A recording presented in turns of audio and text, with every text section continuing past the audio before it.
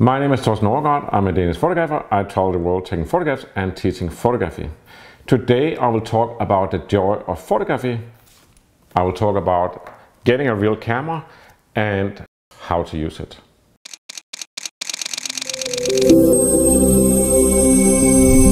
Below the video here there is a link to free downloads. There's actually several downloads because I'm celebrating a new season of Magic of Light television. One download is Lightroom and Capture One presets and styles. It's normally $48 and it's a handful of the styles and presets that I use to make black and white and color photos with my Leica cameras, but essentially they can be used by, with any camera profiles or any camera brand. You just have to put in your email and the code and they're free. You save $48 either for Lightroom or Capture One or grab both of them, then you save $96. Also, uh, my classic book, The Emotional Impact of Photography, is $38. Today it's free. You put in the code and email, and that's a book I wrote about some of the iconic and classic photographs and the photographs who took them, how they took them, and the story behind those people and their philosophy, and also write why I photograph and how I photograph. And as a new extra bonus, my best-selling book, a little book on photography, you can get that for free today also, put in your name and code. I think that one is normally $48. Today it is free. Just put in your name and email and that is all below the video. You can pause the video and do it now so you don't forget it, but else anytime later you can also do it. Today I have a lot of cameras on the table here. And let's just narrow it down very simply. Uh, I have taken photos for many years and uh, this camera sort of is the one that got me into digital photography in 2009. My experience with all the digital cameras here is that they basically all take pictures. Um, so let me just clean out the table a little bit so we can get to the essence of what I want to talk about. The camera that got me into uh, digital photography uh, for real was uh, this camera, which I've done a long video. Uh, this is one of the most amazing camera concepts. Uh, well, it's a Leica and it's a so-called SLR, which means single lens reflex, and it's a film camera. But then Leica made a digital back here together with Imacon and Kodak. Uh, and that was back in 2004, 2006. Uh, so this is a 10 megapixel back and it's really, really a beautiful sensor. Uh, Kodak, of course, makes great sensors. And one of the things, like I said, when they made the first digital cameras was that we want to emulate uh, the film look because that's the last or most recent or basically the only standard for how should colors look is Kodachrome. So that's why they work with Kodak and then they also work with Imacon in Copenhagen who at that time produced scanners, the world's best scanners, so they really knew how to make, you could say, digital signals uh, coming in via optics, make them into uh, digital pictures on a screen and later on a print.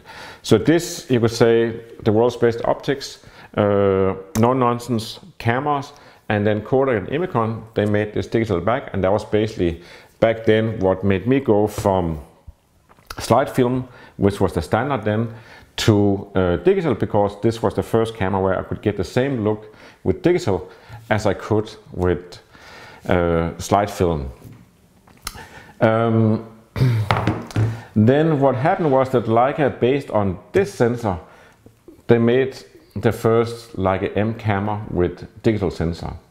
Until then, I'll show you here, until then all Leica M cameras was film cameras like this one which is beautiful and classic in so many ways. You could say this camera was invented in 1925. And despite there has been different models and so on, this is the M4. So that's number, it should be number four in, in, in the row, but it's not exactly. But this one is the 1960s camera. And this is a film camera. And you can say it looks like these ones and the other ones. But Leica made the Leica M8 in uh, 2006 and um, that was the first digital Leica M. Uh, it wasn't full frame. This one is not full frame either. This is a crop sensor. Uh, so that means that the lens I used a lot on this camera back then was 80mm 1.4. Uh, so that one was cropped, so suddenly it was 105. It just means I had to move further away. Uh, so when Leica put in a digital sensor on the M, that was really uh, world news. The real revolution of digital Leicas was in 2009 when Leica made the Leica R9. This is the first Leica uh, rangefinder and first Leica with a full frame sensor. Full frame means, well, full frame is kind of the standard for, uh, you could say, all photography. That is what's called 24 times 36 millimeters. So when you have a camera like this, the film that you would put in this one, the negative, the negative is 24 times 36 millimeters, and that has later been known as full frame in digital. And this Leica M9 that came out in 2009 is the first camera from Leica with a full frame sensor. And it's a CCD sensor, which at that time was uh, still one of the two standards. The other one was CMOS that Canon and so on would use, but Leica chose the CCD uh, again, the idea was to have uh, a sensor with a look as close to Kodachrome as possible. And that was uh, this sensor. The Leica M9 changed everything. Uh, and for me personally, and you could say one of the reasons why I can still talk about this, it came out 2009, it's a vintage digital camera. It's still a camera that I enjoy to use. Uh, and if we go back to 2009, when the camera came out and I got it uh, in a few days after it was released, I had it as um, a cool camera, a kind of, I wouldn't say toy, but it's just like a fun camera to take with me. So I would go out and I would photograph with uh, the big camera here on a monopod or handheld on a tripod and I would do portraits, whatever, around the world. Um, and then I would take some photos with this and I kind of used always to have two cameras to just have one backup. Uh, so I started using the Leica M9 as my backup because uh, I don't know, I just, I liked it and you could say, there's one thing you can test if Leica is for you or Leica M is for you is you go into a camera store and you ask to just hold a Leica for a few minutes and then you go home if you wake up the next day and the only thing or the first thing you think about is this wonderful feeling of holding a Leica, uh, or you just can't stop thinking about it, then there is basically no way back. So I had a little bit of that. I just wanted this camera, I needed this camera, but I don't didn't really need it. But I started using it alongside the other camera, and you could say the more professional, the big camera. And what happened was that, uh, well, one thing was it was fun, but also, what I realized was when I sent a batch of photographs to a magazine or to a client, often they would pick uh, the pictures that were taken with this one. And I would also start picking those photos. So it's almost like I had a better hit rate with this. And I wondered about that, of course, for a while. How come this little camera uh, takes better photos? It's not that it actually took better photos. What happened was that uh, when you take a camera like this, you're very precise in your focus, and it's almost like it is on a tripod, or even if you, you handheld it, it's like this is what I'm doing, and I'm very making a very pre precise framing and everything, and exposure and blah blah, and it's going to be uh, brilliant.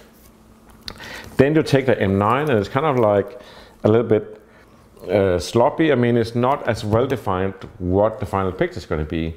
You have a vision in your head, or I have a vision in my head, this is what I want to do and this might be what is happening but I don't actually have the same control for this viewfinder as I have on this camera. And it's a portable camera, so it's very easy to jump up on a chair and you can say, oh, this could be fun to do this and it could be fun to do this. Um, and of course, I say now, when I look back, of course that gives more lively pictures, gives more emotional impact, more communication and more in the case where you do portraits and reportages gives more of the personality of uh, and the atmosphere of the scene than walking around with a clunky camera and almost have it on a tripod and try to arrange everything. So that was the thing that also made me decide I'll actually just use the M. Why would I travel? I had had like a big Pelican case, a big trolley. Um, I would drag uh, with me on the airplanes and sit, and uh, filled with lenses and backup cameras, and suddenly I could just take a Leica M9 and a 50 millimeter. Believe it or not, the Leica M9 is still very relevant uh, today, so many years after it came out. It's 80 megapixels, it's CCD sensor, it has a beautiful look, uh, and it's a very quirky camera to use. You could say it kind of had a feel and almost a sound like a film camera. Listen to this when it takes a picture. That's the sound of it. It's not like a click, it's almost like you can hear the film rewind. Of course it doesn't, but that's kind of the sound of it. Just listen to it again. So this camera is one, I have a couple of them and I've taken, uh, I think, more than 300,000 pictures on those two cameras together and they're still going strong. And I like to take them out now and then and it almost films like, feels like a film camera.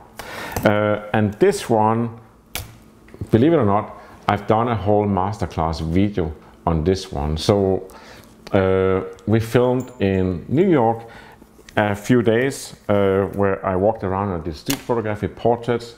Uh, I went into Central Park, I went into uh, cathedrals and stuff, uh, and did street portraits, what have you, uh, with the Leica M9 and some beautiful photos uh, in the park. I even had fun photographing with the dogs in Madison Square Dog Park. Um, and at the same time as we did this one, we also recorded uh, a street photography masterclass. Uh, that masterclass, both of them, I made a link below the video where you can get the Leica M9 masterclass where I go through the menu, the setup, the history of the camera and any detail you can think of with it and how to use it, how to focus it and so on. Uh, there's a link below the video to the page where you can get that one. And I made uh, a couple of bundles. One of them is the street photography class that uh, I made at the same time I did this one. So if you're into street photography, you get the M9 uh, class and you get the street photography class. Uh, so that's like an over, overwhelming amount of like an M9, but it's, you could say, in a way applicable to any photography. Um, and it's just uh, a very lovely camera. And you can say either you have one and you haven't used it get the masterclass, get into it again, or maybe you're thinking about getting like an M9 and I'll get back to that.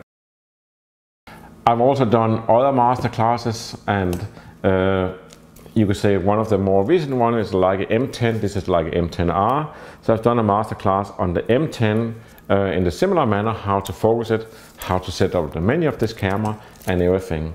Um, and also I'm getting rid of some of the cameras here now you can see. And I've done it here on the Leica M11, uh, which is kind of like a special camera in many ways. Uh, and maybe it takes some extra uh, schooling or care to get this camera to behave uh, at its best and optimum. Uh, the Leica M11. And also um, the Leica Q3 here is a class I've done, and of course I've done the Leica Q and Leica Q2 previously also, how to set up the camera, how to use it, uh, what's special about this camera, um, and how to edit the photos, and even how to make black and white photos with this camera, which I'm sure is going to be a monochrome model at some point, um, but of course uh, you can also use this one for black and white. Uh, also the Leica M240, of course, I made a class on, and also actually on the Leica uh, SL2 and the upcoming SL3, I have uh, video classes on, and they kind of all go through uh, the same thing, my master classes, and that is how to use the cameras for different things, how to get the colors right, how to get the exposure right, how to edit the photos, how to make black and white photos from uh, how to travel with the cameras, how to set up the menu. And all cameras have special things that you have to do. Uh, you could say one of the things with the like element, Leica M11 here is that uh, you could say the exposure is, uh, you could say the exposure is not correct. So you have to set the camera basically to minus two thirds of a stop at all times. You also have to deal in a special way with colors. That's all in the video class. And it's not, there's links to all of it down here. It's not that you have to buy a video class and do that. That's also on my website. There's free articles where I go through uh, a lot of the same things uh, for free. So you can just go read through it uh, as you sit with the camera and as you want to learn more about it. The Leica M9, believe it or not, um, I said I'd taken more than 300,000 pictures with uh, this camera and the sister camera of it. I have two M9s uh, and I've written 20 pages review on my website over the years. Uh, so since I got the camera, from the first day I've been writing how to deal with this camera, which SD card to get, uh, different errors that could be with it, how to work with the buffer. There's a buffer in the camera, so when you're taking three pictures quickly, then you have to wait to, for the buffer to clean out, clear out and so on. Uh, lots of things, and of course, what lenses to use, uh, how to focus the lenses on. So this article goes over this, and I basically travel all over the world, uh, Japan, Paris, uh, New York, Istanbul. Sydney, anywhere.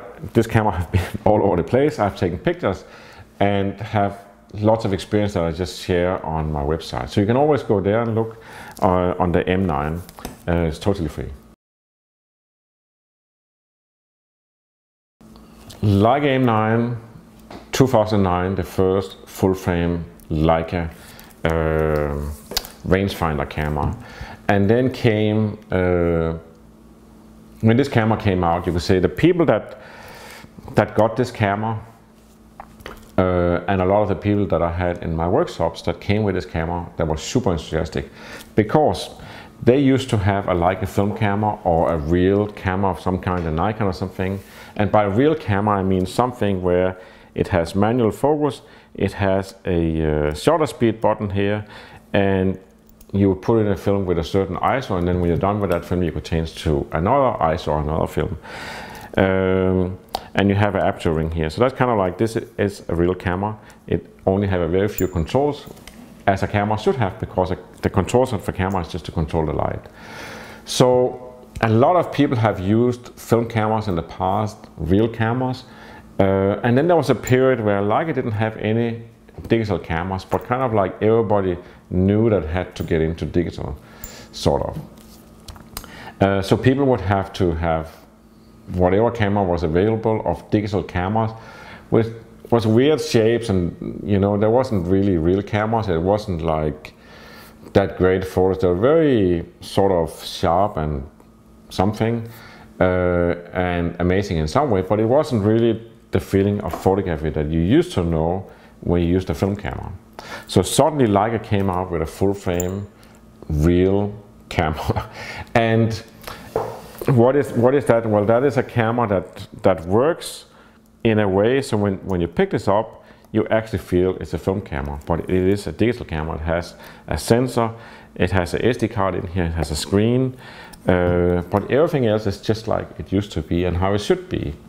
And photography basically is very simple uh, that it, a camera is basically a dark box where light doesn't come in and when the light comes in when you press the shutter release you control how much light come in and that's how you get the correct exposure that's the simplicity of it any camera you get Sony Fuji whatever Hasselblad if it has more buttons than light controls which is shutter speed ISO and aperture those three controls if I have any more than that it's basically just BS you don't need that.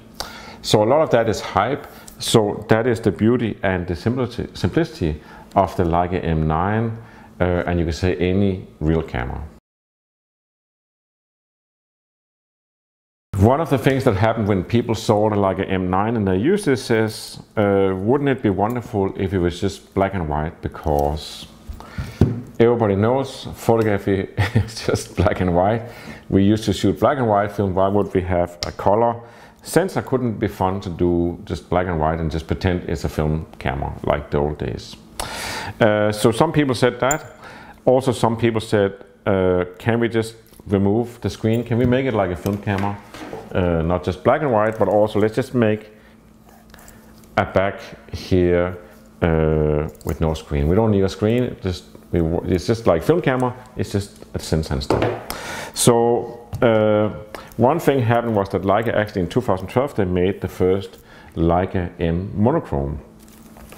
And monochrome has almost become a tradition now uh, that any model of any camera that Leica makes, they make also monochrome and there's other brands, Pentax and so on, and Phase 1 that have also made monochrome cameras. And a monochrome camera is basically just uh, same camera, actually even the same sensor, but just the Bayer filter is removed. The Bayer filter is the one that separates the colors. So when you remove the Bayer filters, you basically just see light, you don't see colors. And that's what you see in a monochrome camera. And the fact that you remove the Bayer filter also kind of 4x the details because now you don't have to deal with red, green and blue. Uh, you just have to deal with how much light is there. And that means you can use all the sensor power to just register light and not have to deal with separating, up in color. So this is the monochrome, uh, the first, you could say the UR monochrome. And let's put that away. Different story. And like I have since of every model they did, the M10, M240, M11 and so on, they have made a monochrome. Also uh, the Q has come as a monochrome, uh, the Q2 monochrome, and you will see other uh, monochrome cameras in the future also, of course. I bet you're a little bit intrigued now. You come this far in the video about a camera from 2009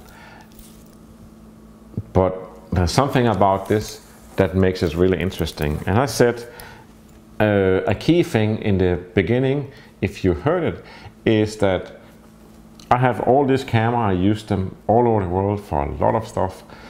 And the latest one, we have the M11, we have the M11 uh, monochrome, and we have the Q3, and we have the SL2, uh, soon we have the SL3. My conclusion is a camera is a camera. It doesn't really matter if I shoot with Leica M9 with 18 megapixels or I shoot with the M11 with 60 megapixels. It's a photo. And it's so almost ridiculous that when I look through my archive, which I kind of do a lot, I find a photo, it's like, oh, that's a great photo, and sometimes I forgot where I took it and when I took it. It could be Sydney in 2012, it could be London 2016, whatever. Um, I actually can't tell when I look at the picture which camera is it shot with. Uh, typically I can see the lens, but I can't see what is the sensor behind this. And that's a little bit contradictory to, you can say when a new camera comes out, there's the hype like, oh, this is 60 megapixel and this is this the most dynamic range? Uh, and it should be something you could see, but the reality of it is that you can't really see it. That's fine. Uh, and what it basically means is that the way I pick uh, a camera for the day, because that's usually what I do in the morning or whatever, I pick a camera and a lens and then I just bring that. I don't bring a handful of cameras. I just one camera, one lens. And you can say if I go out with a 50, I can do 50 millimeter photos and that's what I do. I don't have to think what I'm missing because I don't have a 400mm with me. I don't have to think what could I do if I had 21. I don't have a bag with this so I don't have to change lenses or anything. I just have my 50. Other days I'll put on a 90 and then I'm doing 90mm photos and whatever else is like requires a wide angle 28 or 21 millimeters, I just, this is just not my thing. I just, it, I don't even have to look for it. I just have 90. Um, so I think deep down, I actually think that things should be fun and you should be guided by your passion. That's how you make great things, that you're enthusiastic and you're passionate about what you do. And the foundation for it is that you pick a camera and a lens that you actually like, uh, that makes you enthusiastic and make you want to go out and take photographs and look for, for things. Um, and that's where the M9 comes in, that is still a relevant camera. So sensor-wise, image quality-wise and everything, it's up to standard. It's 2009 camera, but it, you can't really tell in the final picture if it's 2009 or 2024. Same, same picture you're looking at. Uh, in a few cases, you could say in a very few percentage, two or three percent of what most people do, you would actually have pleasure of zooming in or a reason to zoom in on a detail and see how much resolution you have. So that's where you could say 47 megapixel or 60 megapixel comes to right. that you might use it. You could also be in a business or type of photography where you actually want a lot of details in the area of photograph.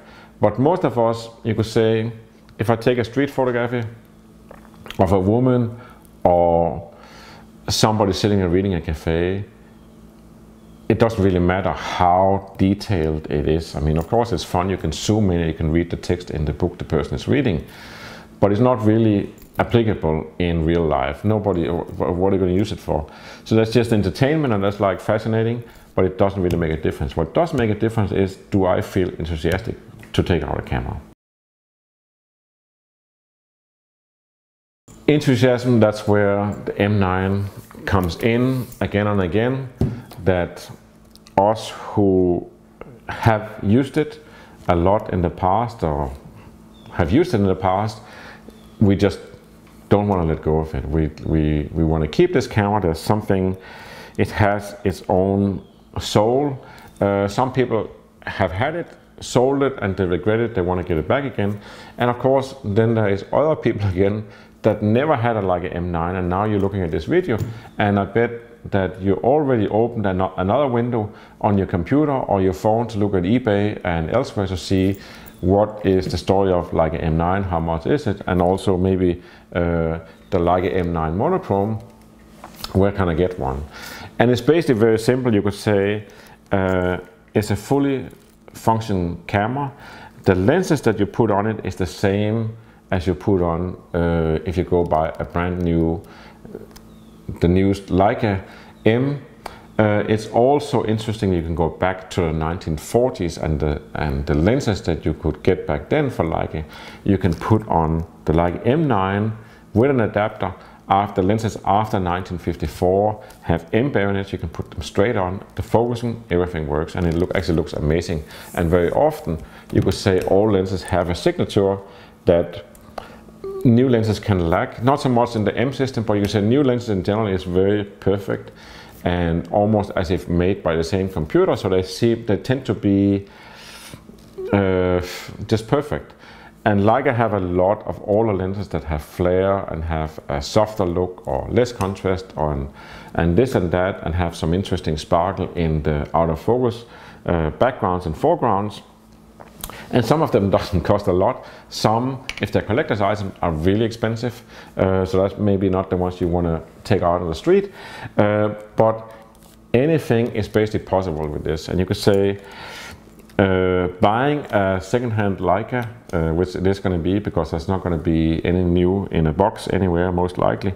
Uh, but buy, buying a Leica M9, you could say the main thing you look for is, of course, does the shutter work and so on, and how does the camera look and how does it feel. Uh, but apart from that, you look at the sensor. Uh, the Leica M9 came out with this uh, uh CCD sensor, from, and some of the sensors get corrosion. And corrosion is basically there is like there's different layers on the sensors. There's some electronics and some glass, and then there's some coating and blah blah. So the protective coating, ironically, on the front of the sensor uh, start crackling. And what causes it is probably uh, humidity, uh, something in the air and blah blah. Uh, so that means that some of them corrode and some doesn't really corrode. Uh, and that builds, you could say, some excitement into the whole thing of getting the Leica M9 because you could buy a camera that already started corrode a little bit or maybe it corroded a lot or maybe it never will.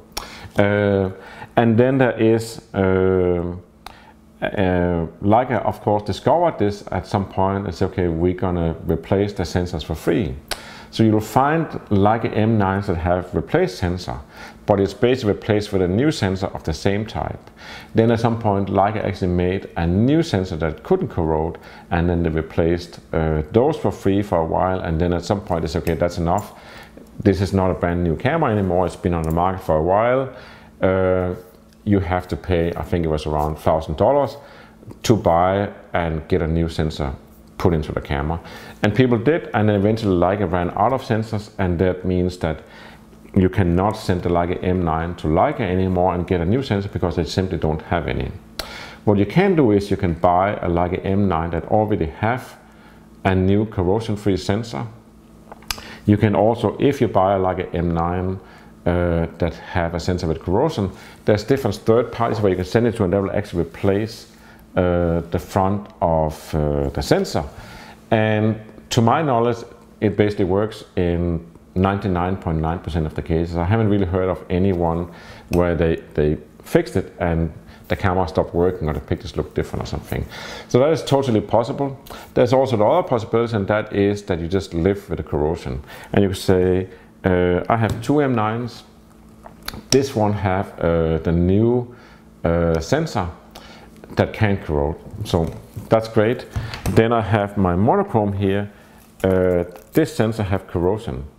Um, and it's something that whenever I send this camera to Leica and Wetzlar and ask them to service it, which means uh, adjust the focus and whatever, just take up the camera and make it like new, uh, they will say there's a corrosion on the sensor uh, and we don't have any new sensors, uh, but we will offer you that you get uh, something like $2,000 for your camera uh, if you trade it in and buy a newer model without corrosion. So I can trade in for like M11 or whatever, or Q3 or whatever. And every time I say, don't touch my sensor, I, am keeping this camera. And the reason I'm keeping this one is because I can't see the corrosion. It's very possible that when you look, well I know, when you look at the sensor you can see some spots. Uh, when I take pictures, I don't see the spots. If I take a picture and uh, of a, like an even surface and I stop down the lens to f8 or f16 or something, then I can zoom in, I can see some small dots that that's corrosion. It could also be dust, but it's not, it is corrosion. So that is how important or not important corrosion is. Uh, it basically something that I don't really care about. Uh, some people get really upset about uh, that they bought a camera in 2009 and now uh, they have to spend thousand dollars or something to fix the sensor. Or I mean, I mean, I, I personally I don't really feel like that. I took a lot of pictures of this, and I have other things uh, that I have to repair, or they stop working after some years. I mean, just take uh, the iPhone. You buy an iPhone and you drop it, and then there goes uh, the back side or the front or both sides of, the, of it or the camera uh, because it's made of glass. Stupid design, uh, nevertheless we keep buying them and we even buy them with insurance so we can go uh, replace them all the time. So I'm really, I don't really have any hard feelings on this. So you could say if you feel, if you have hard feelings on this, don't get a like an M9 if you kind of like, yeah, you could buy an old uh, Nikon film camera and then maybe uh, the insulation around the film uh, on the back, you have to replace it because it's 20 years old. It's just what happens with uh, those things. Enough of that, uh, but that is basically what you look for. You could say you buy secondhand, you have to use common sense. Uh, if it's too good to be true, it's usually not true. It's something is up. Uh, but else you can totally look at a camera, you can feel how does this thing play. Uh, and you could say even one like this that is brassed a lot, uh, which in a way is beautiful, but you could say if you had to buy, if you went to buy a second-hand camera and it looked like this, you'd probably have second thoughts. Uh, but often you can just use it a little bit, you can feel, no, this, this had a good life, uh, I'm gonna take this camera. So that's basically some test here of getting uh, Leica M9 second hand. That's about what I had to say about photography and the Leica M9 today. Remember that below the video there is free download, so if you haven't grabbed them yet, then do it now.